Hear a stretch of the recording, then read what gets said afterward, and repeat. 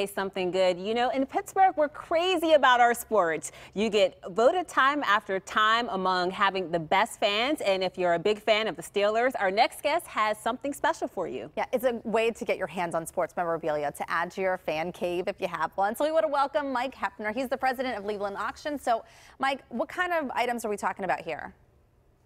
we have a, a, great assortment of jerseys. They're um, mostly game worn jerseys, and they all come directly from the Steelers. Uh, we have everybody from uh, we have a great Jack Lambert jersey to a Troy Polamalu jersey, and uh, this is this is uh, luckily this is about our third time selling jerseys for the Steelers, and every time they're they're a huge hit. The Steelers jerseys actually sell for more than any team in the league, um, and the vintage jerseys are incredibly popular.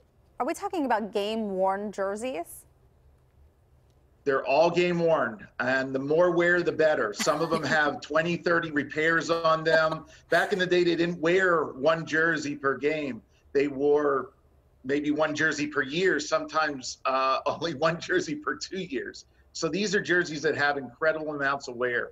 Uh, jerseys that were on the on the shoulders of Jack Lambert, on the shoulders of Jerome Bettis, uh, they're incredible pieces of history. Okay, here are some here are some of them right there. Jerome Bettis, 36. That's a jersey I always wanted, but I never got a chance to to grab it. well, and so the auction is still going on, right?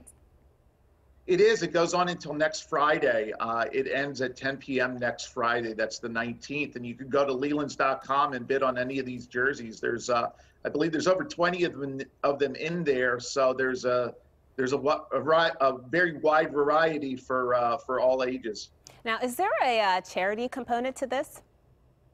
Yes, uh, the Steelers are kind enough to donate a portion of the proceeds to the Chuck Noll Foundation.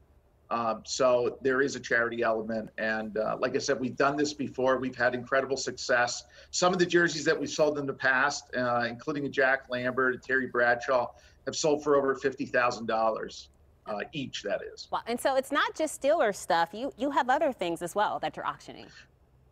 We do have other things. We have a Babe Ruth game used bat, or we have a Babe Ruth signed bat in there. We have uh, balls signed by people like Jackie Robinson. There's a lot of history in there, but a major component of this includes Pittsburgh stuff and Pittsburgh Steelers stuff. And uh, I know in your area and in all of Pennsylvania and throughout the country, that stuff is some of the most popular that there is. Now, do any of the stories ever make their way to you, Mike? Because I feel like there are a lot of people who have some sort of special connection to the sports team, like a family thing. They grew up watching the Steelers with their parents or something like that.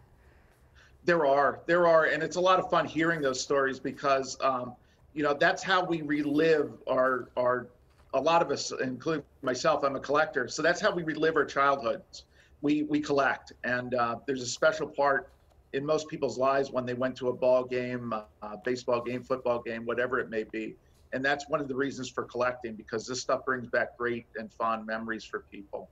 So it's something they can not only put on their wall and uh, cherish, but it's something that also brings up really good memories with them. And so, how does the auction process work? If you go online, how do you you bid, and then how when would you find out if you won the auction? You you can go to Lelands.com and and you can place an initial bid now. Uh, it's an online auction, so you can bid now, and then it concludes on the 19th.